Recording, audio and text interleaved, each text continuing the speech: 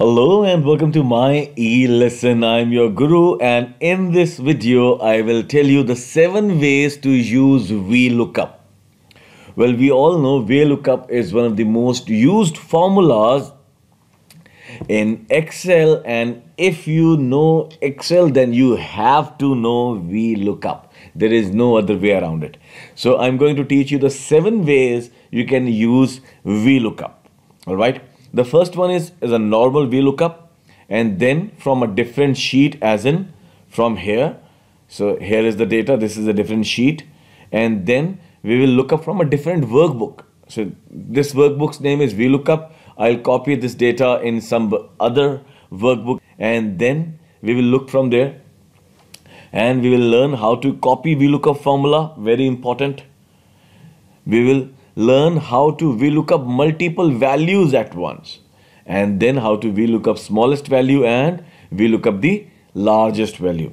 Let me just tell you that this video has been possible with the help of Template Monster which teaches you how to create your own websites using WordPress, Joomla, CMS, OpenCart and PrestaShop all that for free no charges. All that you have to do is go to templatemonster.com the link is in the description. And also you get a free certification which you can show to your prospective employers or hang in your office. All right?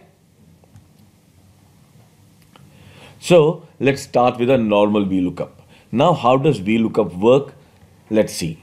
So I have an database wherein I have mentioned the students' names and the subjects that they study and their respective marks. So, student name is this and then the maths marks are here, English maths are English marks are here, geography marks are here, physics and history marks are here respectively. So I want to look up the marks for Jim, Rocky, Black Panther, Wolverine and Mickey. Now if we see, we can do it in two ways. Either we can copy this data, okay? Here is Rocky, so I'll put the marks of Rocky over here and then I look for Jim. Okay, let me go down. Oh, I don't find Jim, but I find Black Panther. So let me put Black Panther's mark over here. Similarly, then I'll go down and I'll find Wolverine. Okay. So that's one way you can look up physically look up your data or you can use VLOOKUP. How do we do that? So we have to first define what we are searching and on what basis. Okay. So we are searching the marks of math and on what basis the student's name. All right. So the basis is very important. So what I'll do is the basis which starts here I'll mention 1 over there. Just to explain, this is not used in the VLOOKUP formula, okay?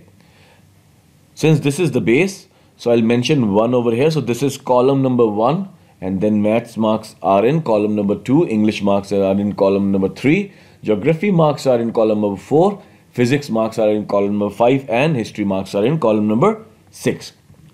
Just, just, remain, just know why I have mentioned these numbers over here.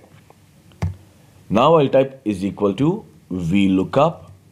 I'll press tab. It says lookup value. So lookup value is the base on which we are doing the VLOOKUP. Okay. So this is the name that I'm doing a VLOOKUP based on. So Jim, comma, it says table array. Now table array is nothing but the data range from where we have to get the answer all right? So I'm going to select it. And I'm going to press F4 so currently you see there are no dollar signs over here but as soon as I press F4 there are dollar signs. So this will help me in copying the formula. So if I copy the formula the same range would be used. Comma.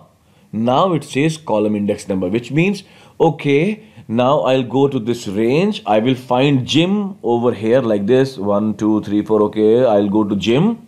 And then once I find Jim, what do you want me to return? So I say I want the marks of math. So math is in which column? Column number 2. Why is it column number 2? Because the lookup value would always be column number 1. So based on that, we will calculate the other column number. So math is column number 2. So I'll type 2 over here, comma 0. Enter. And it will give me the answer as 71. Okay, let's find Jim. He's at the bottom somewhere. Here is Jim. This is 71. Marks for math. Similarly, if I want to find the marks for say history, okay now what I'm going to do is history is in which column? Column number 6 so I'll go over here and instead of 2 I'll type in the column number as 6 so we get the marks for history. Let's see. Here is Jim. There is history 98 see history and Jim is 98 isn't this cool? Now let me show you how we can apply VLOOKUP from different sheet. The same data set is in sheet 2 all right and now I want to find the marks of Rocky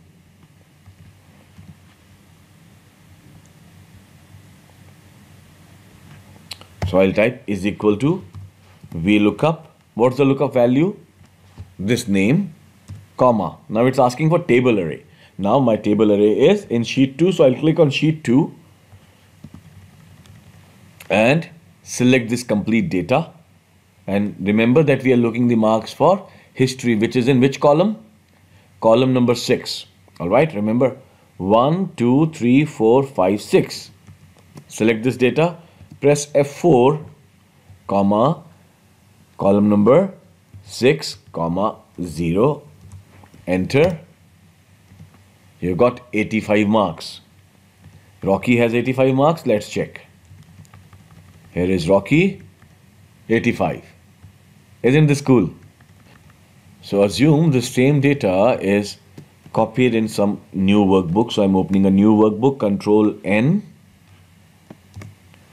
new workbook control V all right so the data is copied. Now I'll simply go ahead and use a VLOOKUP from here. So VLOOKUP from a different workbook is equal to VLOOKUP. Lookup value is the name. This time we're looking the marks for Black Panther table array correct? So table array is here. We go to this sheet and we're looking the marks for Black Panther for history. So we don't need to remember the name, just remember the column number. Comma 6, column number 6 because we are looking marks for history which is in column number 6. And here are the marks for Black Panther.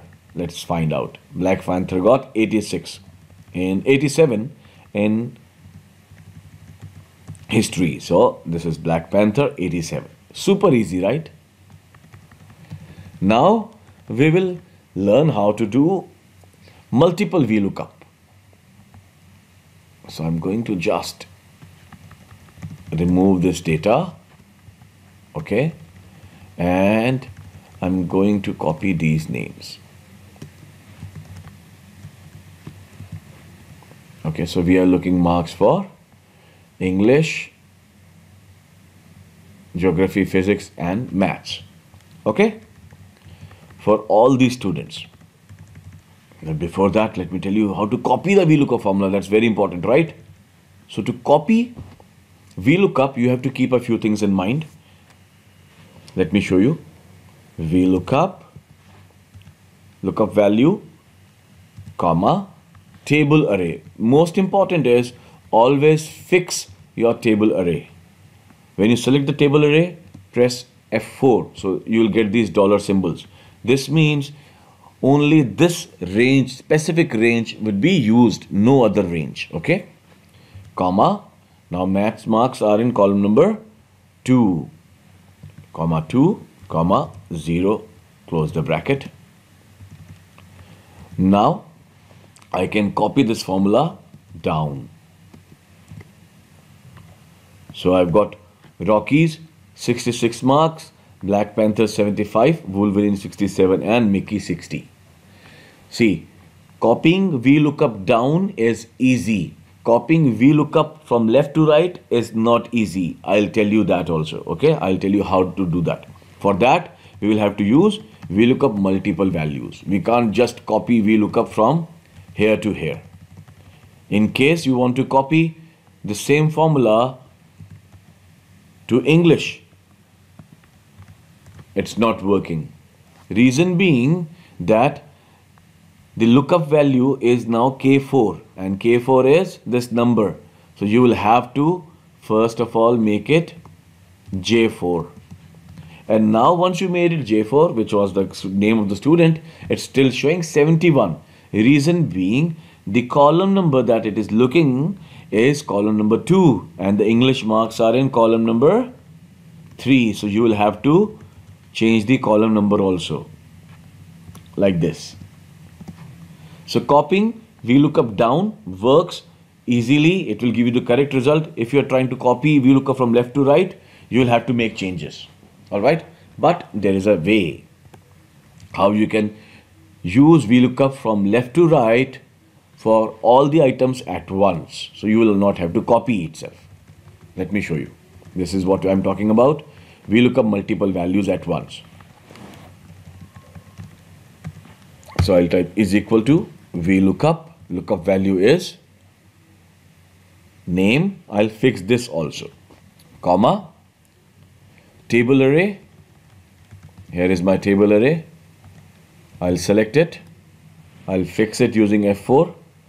Comma. Now it's asking for column number. Now remember, this is important, correct? If you want maths, the column number has to be 2, English, the column number has to be 3, geography column number 4 and so on. So we want a formula to have dynamic column numbers. So I'll use the formula called columns. Okay, and then I will use this range. Student name to maths. Okay, the first two things I will use. I'll use this range I'll just ensure that the first starting aspect of this range is logged. I'll press F4 over here. I will close the bracket, comma 0, enter. Now I will copy this formula, control C, select this area, control V. So 55, 67, 85. So let's find Jim, 71, 55, 67, 85. Where is Jim? 71, 55, 67, 85. Same. Isn't this cool? Now if you want to copy this formula down, okay, what you have to do is you have to always ensure that you are locking the column and not the row. So I am going to remove the dollar from the row and now I'm going to copy this. Okay? First I'll copy it over here. No changes. And now I'll copy it down.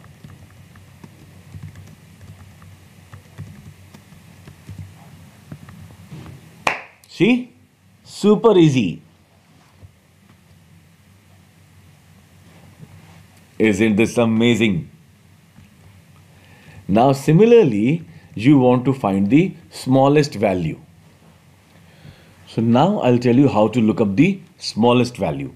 For example, we want to find out what was the, we want to find out the least number of marks that anyone achieved in maths. So we know the answer is 60, all right, out of these students.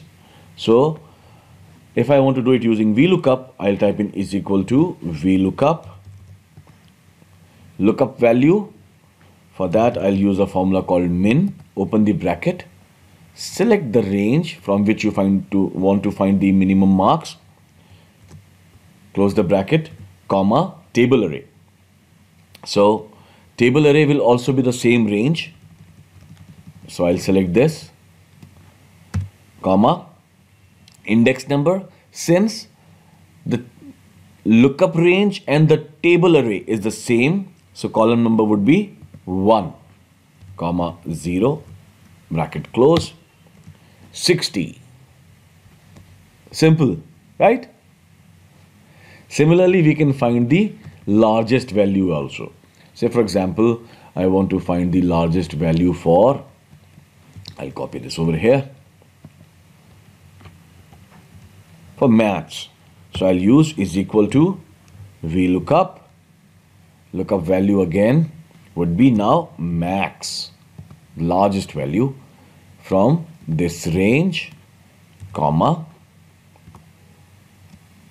I'm sorry not comma close the bracket.